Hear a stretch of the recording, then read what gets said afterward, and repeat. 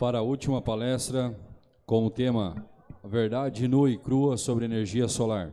Convido aqui à frente o engenheiro eletrônico e eletricista pela Universidade Tecnológica Federal do Paraná, pós-graduado em Engenharia de Segurança do Trabalho pelo Centro Universitário da Fundação Assis Gorgas, com especialização em sistemas fotovoltaicos pela Unicamp. Há seis anos atua na área de energias renováveis, com projetos de mini e microgeração distribuída em sistemas fotovoltaicos com projetos para suficiência energética em clientes enquadrados no mercado cativo e livre de energia.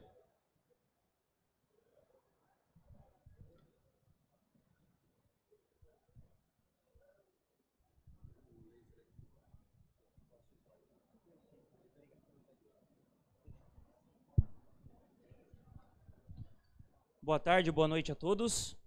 O objetivo principal aqui da palestra, pessoal, é, para quem está acompanhando aí, é a gente poder desmistificar algumas coisas com relação à energia fotovoltaica e aos sistemas fotovoltaicos. Né? Ao longo dos anos, por assim dizer, uma das coisas que o pessoal sempre é, equipara é comentar que ah, sistema fotovoltaico é tudo igual, placa é placa, inversor é inversor, independente é, do modelo, né? e do modelo de marca, eficiência, qualidade. Então, o objetivo principal aqui é a gente poder falar o que, que difere um sistema fotovoltaico. Né? Aonde que os nossos, quais são os principais pontos, né, que a gente deve estar observando, que a gente deve estar analisando para a gente ter essa diferença. Se um sistema é bom ou não, se é confiável ou não. Então, começo aqui a apresentação fazendo a pergunta, né? O que é ser diferente? Então, o que é você se destacar, você ir um pouco além? Então, aqui eu coloco algumas, algumas questões, né? O ser diferente, ele está exclusivamente focado em qualidade, eficiência, garantia, velocidade, preço, personalização, é fazer o básico, é só funcionar, não é? Então, é tudo igual ou não é? Existe uma certa diferença? É claro que sim.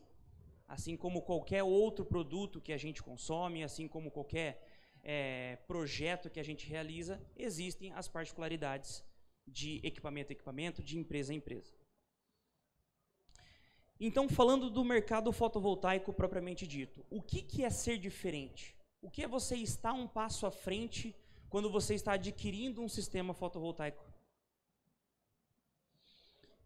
Então aqui eu começo a especificar um pouquinho a cadeia do sistema, tá? como que funciona a cadeia do mercado fotovoltaico hoje. Hoje nós temos os fabricantes, que estão no topo da cadeia, então os fabricantes que produzem a fiação que vai no seu sistema, os módulos que vai no teu sistema, os inversores, as estruturas, ou seja, cada fabricante no seu ramo. Abaixo disso nós temos os distribuidores, responsáveis por quê? Por pegar todos esses componentes, montar um kit fotovoltaico conforme a solicitação dos integradores. Então, assim como a Biovats, nós somos integradores. Qual é o papel na cadeia do integrador? É atender o cliente final, entender a necessidade desse cliente, fazer o dimensionamento, realizar o projeto, executar, ou seja, é entregar o processo final lá para o cliente final. Então, acima do integrador, nós temos esses dois níveis: distribuição e fabricantes. Então, a gente precisa entender isso aqui, porque o cliente final ele fala com quem? Ele fala com o integrador. O integrador ele está colocando um equipamento, ele está fazendo um projeto com base em N outros fornecedores, como eu comentei antes. Tá? Cada, cada peça, cada componente do sistema tem um fabricante. Então ele tem que sintetizar tudo isso, ele tem que trazer tudo isso para o cliente final.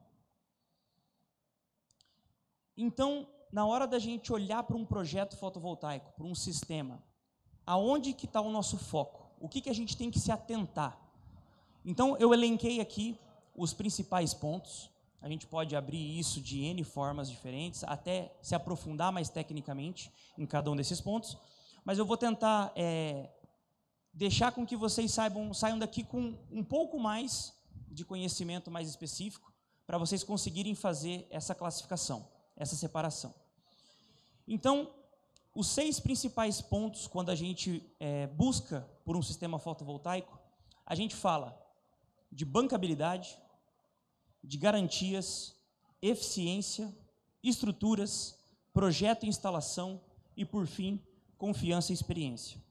Até eu elenquei a ordem que eu coloquei esses itens, é até no quesito de responsabilidade, dentro daquela pirâmide que a gente comentou sobre a cadeia do sistema fotovoltaico.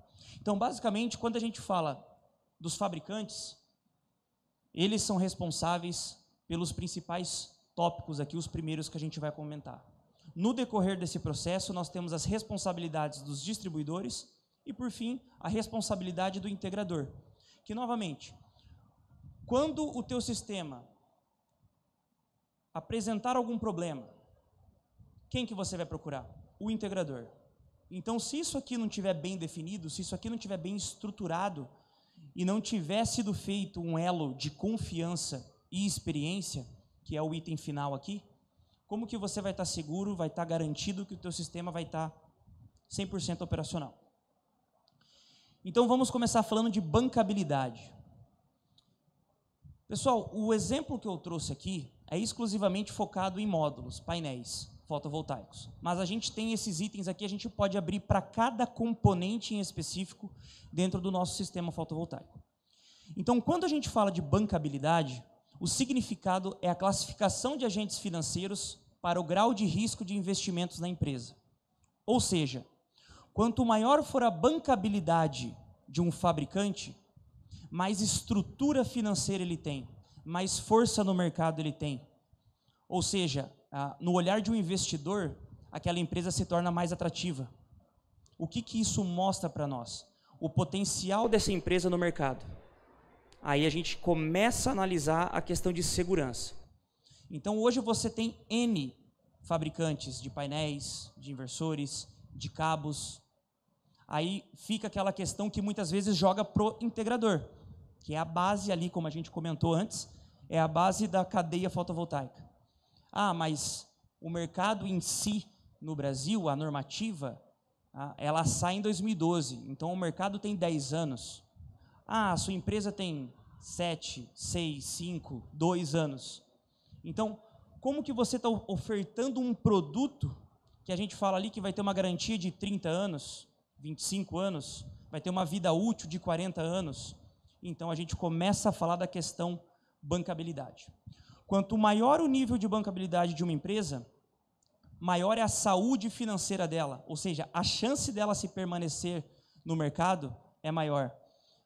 Honra de compromissos, tá? A questão principal de garantia de que ela vai entregar o teu produto é quando a gente fala de honra de compromissos. E a questão da lucratividade, que ela é uma empresa que está positiva no mercado em constante crescimento. Então, quando a gente fala disso, existe o que a gente chama de pirâmide da bancabilidade do sistema fotovoltaico. Essa pirâmide ela é atualizada trimestralmente, tá? Pela PVTech. Hoje é a maior fonte de informação fotovoltaica do mundo, tá? Então é o canal da PVTech e aqui ele lista a pirâmide de bancabilidade. Então começando aqui nos três As ou Triple A, como eles chamam, é as marcas que tem a maior bancabilidade do mercado no quesito fabricação de módulos. E conforme a gente começa a descer essa escala, a menor bancabilidade. Então, a gente nota que quando a gente pega aqui as empresas que estão ranqueadas com a bancabilidade A, independente do nível, a gente está se limitando aqui em praticamente sete empresas, que são as líderes hoje no mercado. Foram as primeiras empresas que surgiram no mercado fotovoltaico, estão até hoje, e o volume de comercialização desses equipamentos só aumentam com essas fabricantes. E conforme a gente começa a descer, novamente, o nível de bancabilidade vai reduzindo e a gente começa a colocar aquelas, aqueles pontos na balança. Daqui a cinco anos, quando eu precisar de uma garantia, essa empresa vai estar no mercado? Então, é nesse olhar aqui que a gente tem que colocar as nossas atenções. Segundo ponto, para a gente se atentar, as questões de garantia, como a gente acabou de comentar. Então, do dicionário, qual o significado da palavra garantia? Ato ou palavra com que se assegura o cumprimento de obrigação, compromisso, promessa. Então a gente acabou de falar, por que, que a gente procura um sistema que tem uma garantia boa? Né? O que, que é uma garantia boa? Quando a gente fala de sistema fotovoltaico, que é o nosso foco, qual é o nosso maior produto? A geração de energia. Então, é a energia propriamente dita. Então, a gente precisa assegurar que essa geração, esse projeto que está sendo feito para o cliente, ele vai ser entregue. Porque, em termos do contrato, em termos ali do que você está comprando a partir do momento que é apresentado um orçamento para ti, é a geração do sistema. Porque é aquilo que vai te dar o teu retorno. Então é aquilo que tem que funcionar, é aquilo que tem que ser entregue. Então, quando a gente fala dessa questão de garantia, apenas alguns pontos, eu trouxe alguns exemplos aqui de alguns fabricantes, tá? Mas lá no começo, quem já ouviu falar de energia solar, né, quem já está aí já faz um bom tempo, lá nos primórdios, vou colocar assim, todo módulo de todo fabricante ele saía com 10 anos de garantia contra defeitos de fabricação e 25 anos de eficiência, tá? que até o 25º ano ele teria um percentual aonde o teu sistema ainda deveria estar gerando, que há anos atrás era meio que padronizado no mercado 80%. Então a gente quer dizer o quê? Se vier um defeito de fabricação de um módulo, ele tem 10 anos para que seja acionada a garantia e que no 25º ano, se você comprou um projeto de 1000 kWh por mês, ele vai tem que estar entregando pelo menos 800 kWh mês, certo? Isso foi o, o start, o início do mercado solar. Hoje, como que você consegue saber se o sistema que você está adquirindo ele é um sistema confiável a longo prazo, que ele vai dar essa garantia a longo prazo? Então aqui eu trago uma informação dos documentos técnicos dos fabricantes, o qual eles disponibilizam para o mercado para comprovar a eficiência do equipamento deles. Como que vai ser o comportamento desse equipamento e os integradores podem fazer o seu projeto de vocês baseado nesses documentos, nesses dados, nessas informações. Então aqui eu trago é, uma fabricante, as informações que eles colocam, e a gente já começa a olhar alguns destaques no mercado. Ainda hoje existem empresas que entregam 10 anos de garantia contra defeitos de fabricação e durante 25 anos, 80%. Aqui eu trago um, um, diferencial de um fabricante do mercado. 12 anos de garantia contra defeitos de fabricação, dois anos a mais do que grande parte dos outros fabricantes, e permanece ainda os 25. Só que ao invés de ser 80% nos 25 anos, a gente está falando aqui de 84,8%. Ou seja, você vai ter 4,8% a mais de garantia daqui 25 anos. É mais geração garantida para você nos mesmos 25 anos de outro fabricante. Então aqui a gente já começa a ver, não é tudo igual. Não é todo fabricante de placa é placa, módulo é módulo. O importante é gerar energia. Tem esses detalhes. Aqui eu trago um outro gráfico de um outro fabricante. 30 anos de garantia de geração não é mais 25 anos. Os mesmos 12 anos da outra fabricante, contra defeitos de fabricação, mais 5 anos a mais na geração. O que, que isso implica? Não é mais no 25, é no trigésimo ano, o teu sistema ainda tem que gerar 87,4%. Esses gráficos que eu estou trazendo aqui, pessoal, são de empresas com bancabilidade A. Então, como eu comentei anteriormente, foram as primeiras empresas do mercado que ainda estão no mercado e que são as líderes de vendas e desenvolvimento tecnológico no setor fotovoltaico. E por fim, eu trago para vocês o que eu estava falando. Um fabricante, também ah, de linhas importadas de equipamento e também de linha nacional, que ele traz aqui a garantia de 25 anos 12 anos de fabricação, então dois anos a mais, porém os mesmos 25 do que grande parte dos equipamentos do mercado, 80%, que é o que nós tínhamos lá nos primórdios e ainda hoje alguns fabricantes ainda permanecem com essa garantia. Então aqui a gente já começa a diferenciar a qualidade dos, dos nossos equipamentos.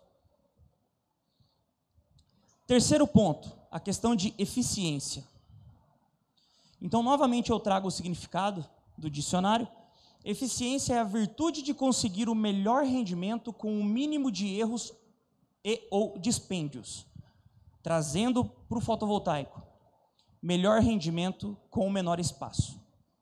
Então, quando a gente fala de eficiência, pessoal, não é necessariamente, ah, eu tenho um módulo, eu estou adquirindo um módulo de 600 watts.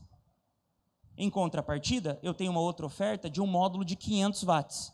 Ah, o 600, por ser uma potência maior, ele é mais eficiente. Não necessariamente.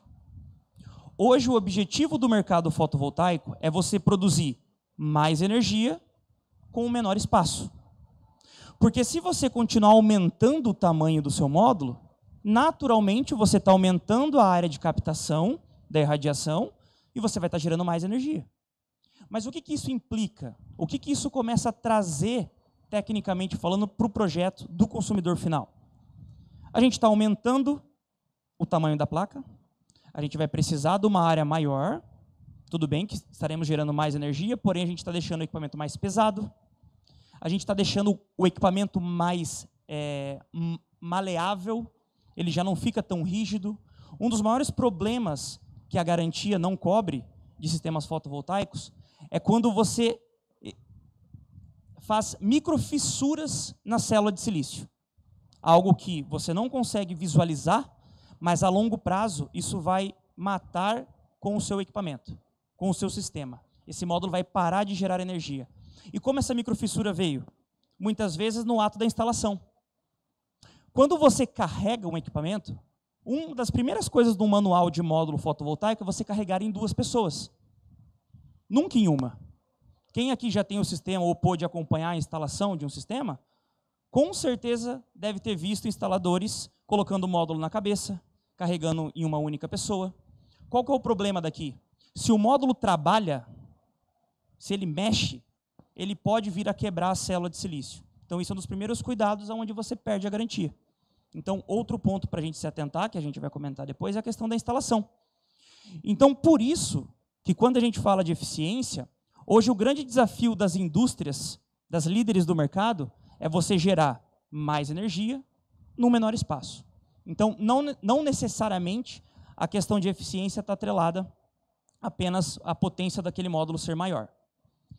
Dito isso, peguei outros dois fabricantes apenas para mostrar para vocês alguns dados que eles trazem. Tá? Então, aqui o primeiro fabricante, a gente tem um módulo, basicamente, 2 metros e 27 por 1,13.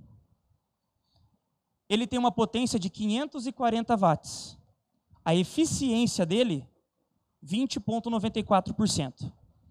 Em contrapartida, você pega um outro fabricante, que é a mesma potência do módulo, só que ele tem basicamente 10 centímetros a mais de altura. Ou seja, ah, ele é maior. Ele deveria gerar uma potência maior.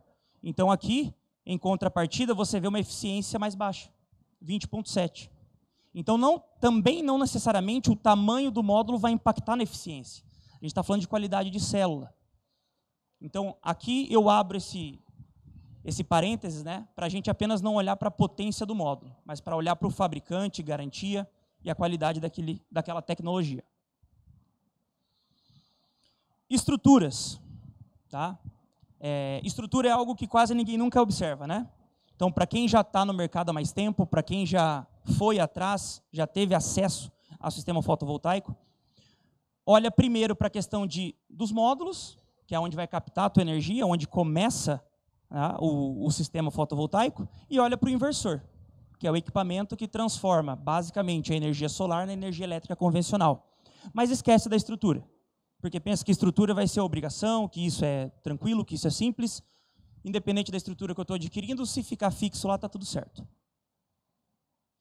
Pessoal, reforçando o que eu acabei de comentar, extrema importância na hora da escolha do material utilizado no projeto, aonde vão ficar fixo os teus módulos, os teus painéis solares.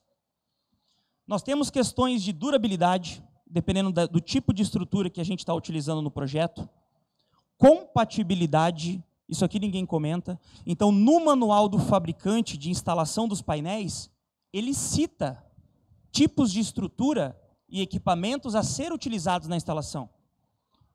O que não tiver listado no manual de instalação pode vir a causar algum problema na sua instalação, que novamente a garantia depois não vai acabar cobrindo. Então a questão de compatibilidade é muito importante. E claro, fixação e segurança. Então essa estrutura ah, eu pedi para o fulano fazer uma estrutura aqui. Tá, mas essa estrutura, ela passou por estudos de arranque, estudos de torção? A gente consegue garantir que o equipamento, ao ser instalado sobre essa estrutura, não vai dar nenhum problema? Então a gente também tem que se preocupar com a questão da estrutura. E hoje, quando a gente fala no mercado, basicamente a gente fala em, na existência de estruturas de alumínio e estruturas de aço galvanizado. E qual que é a maior diferença entre as duas? Tá? Obviamente, a primeira é o valor. Quando a gente fala do quesito estrutura de aço galvanizado, ela é uma estrutura que tende a ser 30% mais barata do que uma estrutura de alumínio. Mas agora eu apresento para vocês algumas contrapartidas. Quando a gente olha pela questão de estrutura e a gente vai fazer uma escolha, a gente tem que olhar para dois pontos. O ambiente que estamos instalando este equipamento e o desempenho e a durabilidade deste material. Então, quando que é confortável a gente utilizar um ou utilizar outro? Se a gente está falando de construção civil, você pode ter uma interpretação. Mas quando a gente fala de fotovoltaico, é outra interpretação. Então, quais seriam as principais diferenças? Pessoal, quando a gente fala de uma estrutura de alumínio, a gente está comentando de uma estrutura que possui ótima resistência à corrosão, principalmente em ambientes agressivos. Então a gente está instalando isso aonde? Em uma região próxima à praia, a gente está instalando isso num, num, num, num local industrial, onde a gente tem um nível de corrosão no ar maior, muitas vezes aqui no caso, um aviário, né, onde a gente também tem a questão de amônia. Então, onde que a gente está colocando esse sistema? Então, no caso do alumínio, a gente sabe que ele vai ter resistência contra esses sistemas mais contra esses ambientes mais agressivos. Vida útil de um alumínio, a gente está falando de 30 a 40 anos. Mostrei anteriormente a questão de garantia dos módulos, da garantia dos equipamentos. A gente fala de 25, 30 anos. De vida útil de um módulo, a gente está falando de 40 anos. Então, é importante a gente pensar na estrutura que vai ter que aguentar isso pelo mesmo período de tempo que ela vai continuar gerando energia. Questão de leveza, então dependendo de onde você está fazendo a tua instalação, o alumínio ele é mais leve do que o aço galvanizado. E a questão de boa resistência mecânica que em contrapartida, o aço galvanizado também apresenta uma boa resistência mecânica. Mas a gente está falando de um material onde a resistência é limitada. Então, dependendo do ambiente que a gente está instalando, isso não vai se tornar algo compatível ou algo durável. Vida útil de 20 a 25 anos, tá? Então, já cai quase que pela metade a vida útil que a gente estava comentando. E a questão de ser mais pesado. Então, dependendo de onde a gente está instalando, precisa-se ter um cuidado maior com relação a onde a gente está colocando aquele tipo de estrutura. Certo? E penúltimo, questão de projetos e instalação, pessoal. E aqui eu gosto de abrir uma questão aonde para o sistema fotovoltaico parece que carece um pouquinho essa curiosidade para o cliente final, tá? Quando a gente adquire um móvel novo ou um veículo novo, é natural que você, se você não lê o manual, tá, você vai estar tá ouvindo especialistas de como você manusear aquele equipamento, de como você conduzir aquilo e aproveitar aquilo na sua máxima performance. Quando a gente fala do sistema fotovoltaico, pessoal, é importante que vocês tenham conhecimento. A equipe do integrador, ela é treinada? Ah, não, mas é o eletricista aqui que, que sempre fez trabalho para mim, ele vai fazer essa instalação também. Pessoal, tecnicamente falando, já começa que o sistema elétrico ele é diferente. Um cabo que você usa numa instalação convencional na tua residência para ligar uma lâmpada, não é o mesmo cabo que você usa no sistema fotovoltaico. Ah, cabo é cabo. Não. Existem diferenças técnicas entre esses equipamentos. Então é importante que a equipe que vai fazer essa instalação saiba disso, mas principalmente ela saiba manusear os equipamentos que ali estão. Comentava anteriormente sobre a forma de você carregar um módulo. Então, é desse processo até o processo de entrega da instalação. Acompanhamento de ponta a ponta. Está sendo acompanhado esse processo, essa instalação? É muito simples. Um módulo que você tem que carregar em duas pessoas, daqui a pouco, para você agilizar o processo de instalação, você carregar apenas com uma única pessoa. O qual já comentei que não, é, não está no manual isso e você é passivo de perder a garantia. Segmento de normas, pessoal. Quem fez um projeto fotovoltaico, por exemplo, há seis, sete anos atrás, não tinha norma específica de instalação de equipamentos fotovoltaicos. Seguia-se a mesma norma convencional do sistema elétrico brasileiro e ponto. Mas foi em 2019 que lançaram-se as primeiras normas de instalação de sistema fotovoltaico. Então aí eu começo a dizer para vocês, existe uma diferença entre essas questões, tanto para a segurança quanto para a eficiência do teu sistema. E por fim, já falei inúmeras vezes, a questão de seguir o manual de instalação dos fabricantes, de seguir as advertências do fabricante. Por quê? Primeiro ponto, para que você garanta a performance do teu sistema, para que você tenha uma garantia da geração de energia e, consequentemente, a garantia da durabilidade do funcionamento do teu sistema. Então aqui eu jogo algumas imagens de algumas informações de um dos fabricantes que eu trouxe aqui de exemplo anteriormente, do manual deles.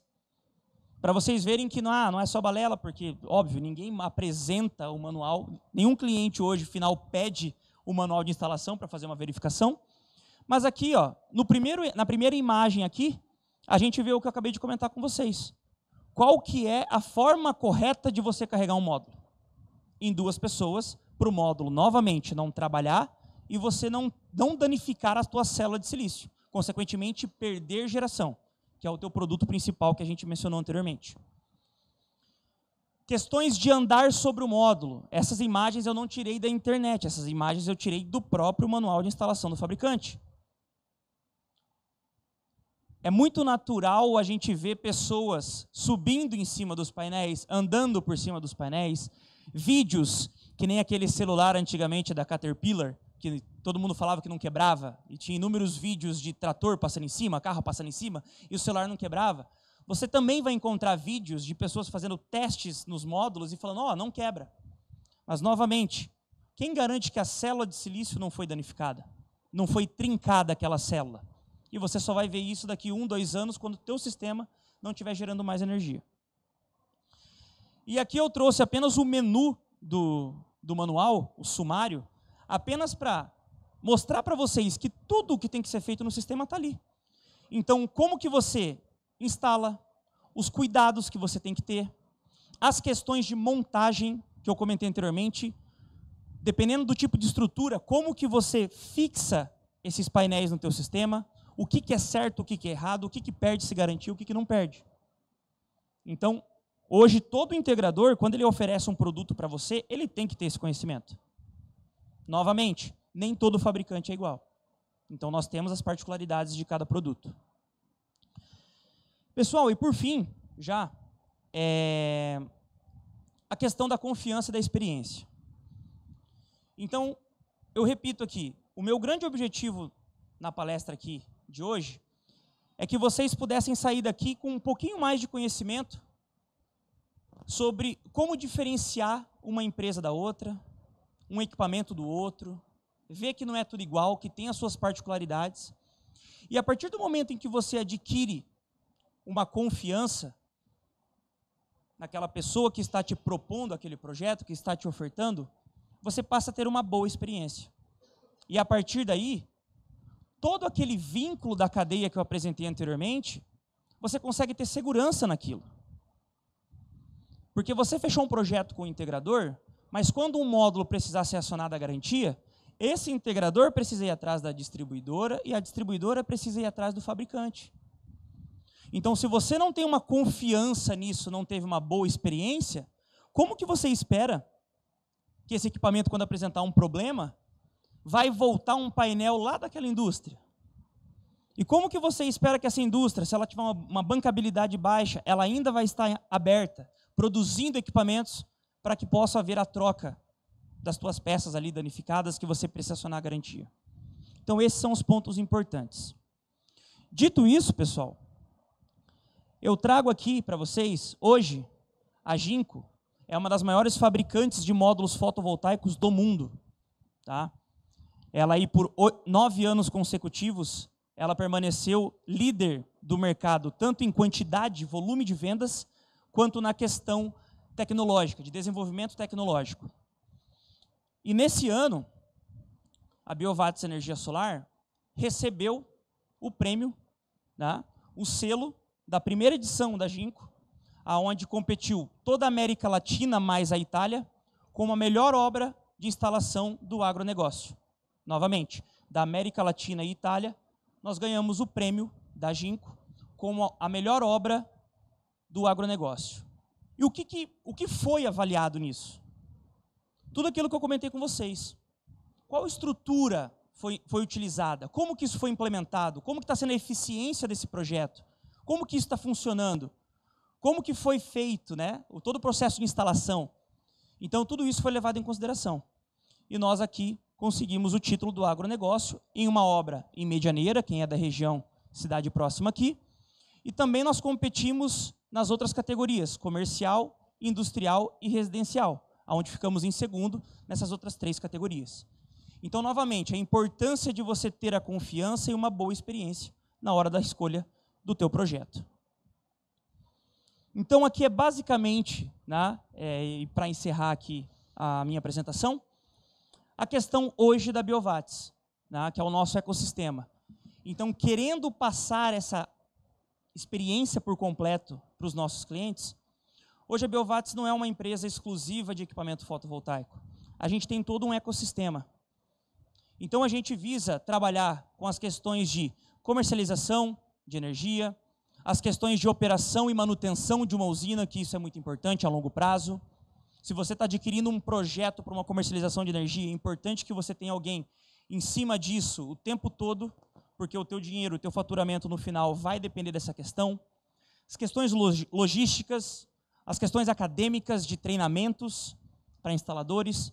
Então hoje a gente abrange tudo isso dentro da nossa empresa para entregar novamente a melhor experiência para os nossos clientes. E aí fica a minha pergunta, pessoal. Do jeito que eu abri a minha palestra, eu trago novamente aqui a minha pergunta, né? Então, o que é fazer a diferença para vocês? Então, quando vocês buscam uma empresa integradora que vai fazer a instalação do teu sistema, o que, que vai fazer com que você escolha aquela empresa ou aquele integrador? Então, vão com isso em mente, tá? Para a gente novamente entender que ah, a tua placa é igual a outra placa, o teu inversor é igual a outro inversor, aquele sistema, já me falaram mil vezes que é o melhor sistema do mundo, mas aqui estão algumas informações, algumas, alguns dados para vocês poderem pesquisar e tirar essa prova real. Então, muito obrigado.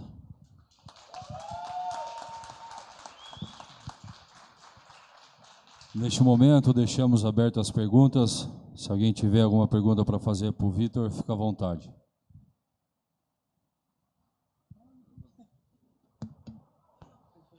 Então queremos agradecer ao Vitor Hugo pelo conhecimento repassado e representando a empresa Biovats. Encerramos esta segunda tarde da Feira Paranaense de Energias Renováveis 2022.